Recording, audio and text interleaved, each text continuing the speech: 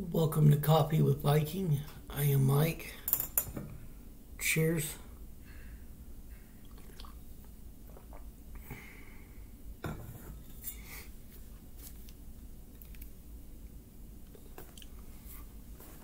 Proverbs chapter 25.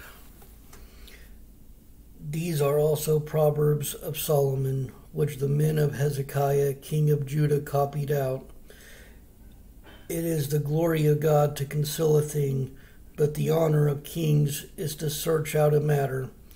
The heaven for height and the earth for depth, and the heart of kings is unsearchable. Take away the dross from the silver, and there shall come forth a vessel for the finer.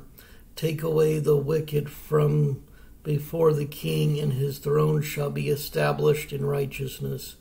Put not forth thyself in the presence of the king, and stand not in the place of great men. For better it is that it be said unto thee, Come up hither than that thou shouldest be put lower in the presence of the prince whom thine eyes have seen. Go not forth hastily to strive, lest thou know not what to do in the end. Therefore, when thy neighbor hath put thee to shame, debate thy cause with thy neighbor himself, and discover not a secret to another lest he that heareth it put thee to shame, and thine infamy turn not away. A word a word fitly spoken is like apples of gold in pictures of silver, as an earring of gold in an ornament of fine gold, so is a wise reprover upon an obedient ear, as the cold of snow in the time of harvest so is a faithful messenger to them that send him. For he refresheth the soul of his masters.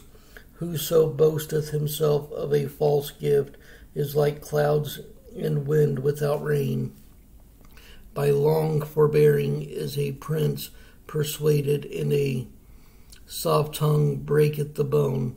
Hast thou found honey? Eat so much as it much as is sufficient for thee, lest thou be filled therewith and vomit it. Withdraw thy foot from thy neighbor's house, lest he be weary of thee and so hate thee. A man that beareth false witness against his neighbor is a maul, and a sword and a sharp arrow.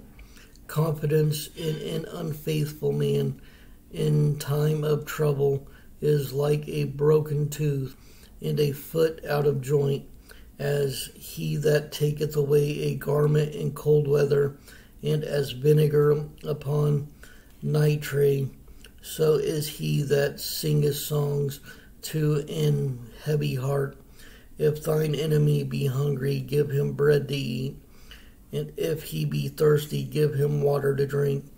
For thou shalt heap coals of fire upon his head, and the Lord shall reward thee.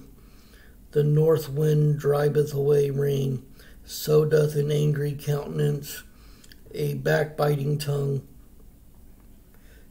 It is better to dwell in the corner of the housetop than with a brawling woman in a wide house.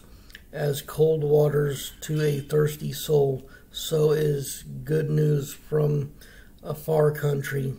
A righteous man falling down before the wicked is as a troubled fountain and a corrupt spring.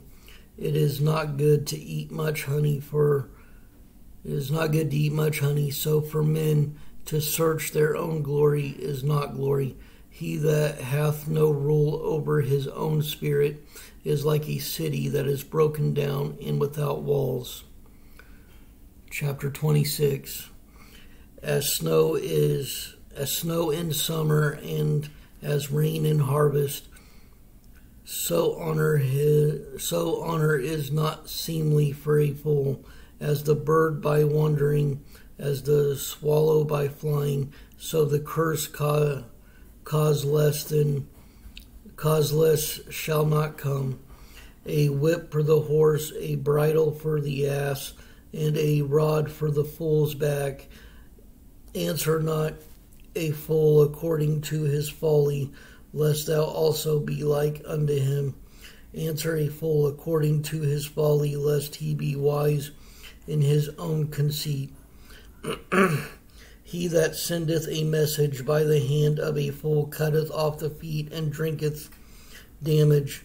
The legs of the lame are not equal, so is a parable in the mouth of fools, as he that bindeth a stone in a sling. so is he that giveth honor to a fool. As a thorn goeth up into the hand of a drunkard, so is a parable in the mouth of fools. The great God that formed all things both rewardeth the fool and rewardeth transgressors. As a dog returneth to his vomit, so a fool returneth to his folly. Seest thou a man wise in his own conceit? There is more hope of a fool than of him. The slothful man saith, There is a lion in the way, a lion is in the streets. As the door turneth upon his hinges, so doth the slothful upon his bed. The slothful hideth his hand in his bosom, it grieveth him to bring it again to his mouth. The sluggard is wiser in his own conceit than seven men that can render a reason. He that passeth by and meddleth with strife belonging not to him is like one that taketh a dog by the ears, as a man as a madman who casteth firebrands, arrows, and death so is the man that deceiveth his neighbor, and saith, Am not I in sport? Where no wood is, there is fire. Where no wood is, there the fire goeth out. So where there is no talebearer, the strife ceaseth. As coals are to burning coals, and wood to fire, so is a contentious man to kindle strife. The words of a talebearer are as wounds, and they go down into the innermost parts of the belly. Burning lips and a wicked heart are like a pot potsherd are like a potsherd covered with silver dross. He that hateth dissembleth with his lips and layeth up deceit within him. When he speaketh fair, believe him not.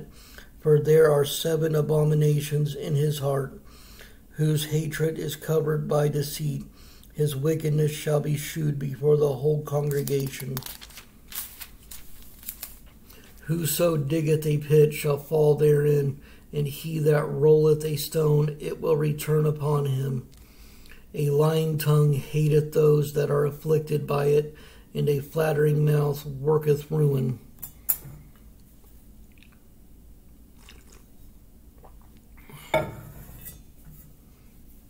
Chapter 27 Boast not thyself of tomorrow, for thou knowest not what a day may bring forth.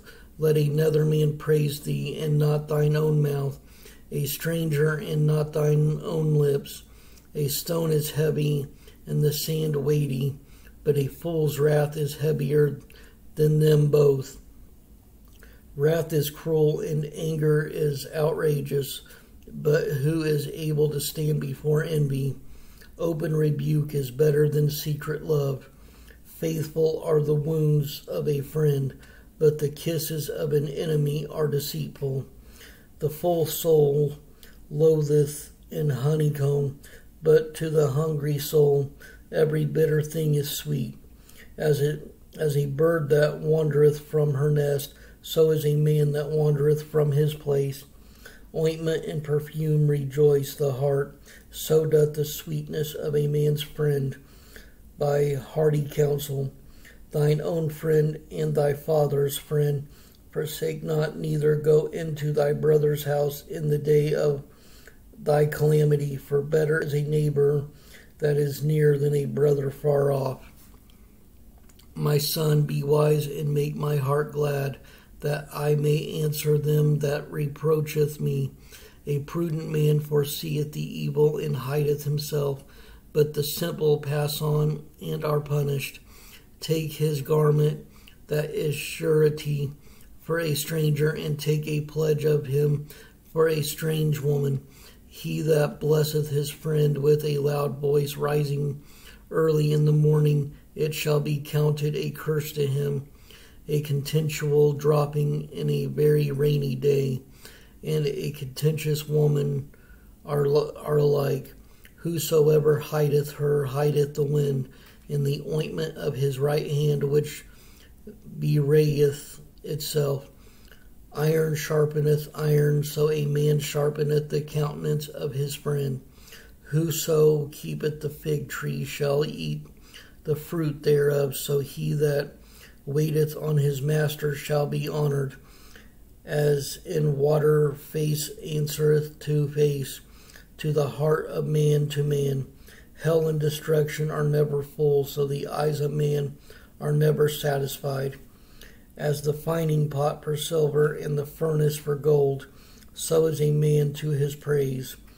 Though thou shouldest bray a fool in a mortar among wheat with a pestle, yet will not his foolishness depart from him. Be thou diligent to know the state of thy flocks, and look well to thy herds. For riches are not forever, and doth the crown endure to every gener- to every generation. The hay appeareth, and the tender grass sheweth itself, and herbs of the mountains are gathered. The lambs are for thy clothing, and the goats are the price of the field. And thou shalt have goats' milk enough for thy food, for the food of thy household, and for the maintenance for thy maidens.